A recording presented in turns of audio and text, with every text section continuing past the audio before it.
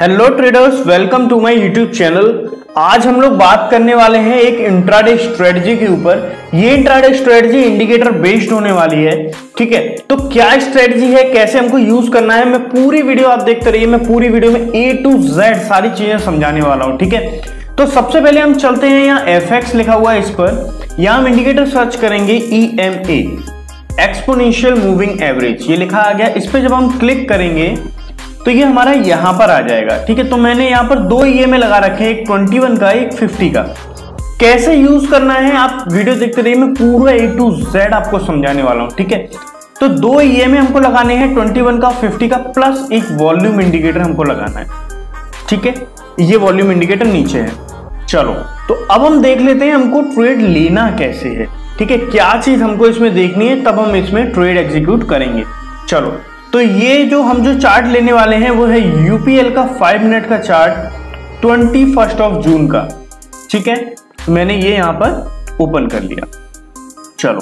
अब देखो, ये जो ऑरेंज कलर की लाइन दिख रही है, ये है 21 वन ईएमए की। ये देखो, मैं क्लिक करके दिखा देता हूँ। 21 वन ई की। और ये जो ब्लू वाली लाइन है, ये है 50 ई की। ठीक है? तो देखो, जब भी ये जो ऑरेंज लाइन है ये ऑरेंज लाइन जब ब्लू लाइन को नीचे की तरफ़ काटेगी तो हम सेल अपॉर्चुनिटी ढूंढेंगे और जब ये ऑरेंज लाइन ब्लू लाइन को ऊपर की तरफ़ काटेगी, तब हम बाइंग अपॉर्चुनिटी ढूंढेंगे। ठीक है? चलो। तो अब क्या हुआ? ये 21 यहाँ हम देखते हैं 18 जून। ठीक है? 18 जून को ये यहाँ पर मार्केट थोड़ा सा कंसोलिडेट कर रहा था। तो इसके बीच में ईएमए फंस रहा था। जब कभी ऐसी कंडीशन आएगी ना, जब ईएमए की लाइंस जो हैं प्राइस के अंदर मूव कर रही होंगी तो हम वहाँ पर ट्रेड को अवॉइड करेंगे। ठीक है, हम वहाँ ट्रेड नहीं लेंगे। बट जैसे 21 जून को हमने क्या देखा, कितना शार्प मूव आया है, कितना क्लियर दिख रहा है। देखिए, अब यहाँ पर कोई भी दिक्कत नहीं है। नीचे मार्केट खुला हुआ है, कितना इजीली इसने क्लियर कट दिया हुआ है कि ऑरेंज लाइन ने ब्लू लाइन को नीचे की तरफ़ कट कर दिया है। ठीक है, दूसरी चीज़ हम देखेंगे, हम वॉल्यूम यहाँ पर सेलिंग प्रेशर हाई है, ये हम वॉल्यूम से भी देख सकते हैं। अगली कैंडल पे हम देखेंगे तो ग्रीन कैंडल में इससे कम वॉल्यूम आया हुआ है। ठीक है? और आगे की अगर दो तीन कैंडल्स और देखें तो इसमें वॉल्यूम बढ़ा हुआ है। करेक्ट ठीक है। तो देखो मैंने आपको बताया था जब भी ऑरेंज लाइन ब्लू लाइन को नीचे की तरफ़ काटेगी तो हम सेल पोजीशन बनाएँगे। यहाँ पर हुआ क्या? इजीली देखो कितना शार्प मूव दिया है इसने काटा। ठीक है तो पहली कैंडल का हम हाई और लो मार्क कर लेते हैं। आ, ये हाई है और ये हमारा लो है। ठीक है अब शार्प मूव दिया।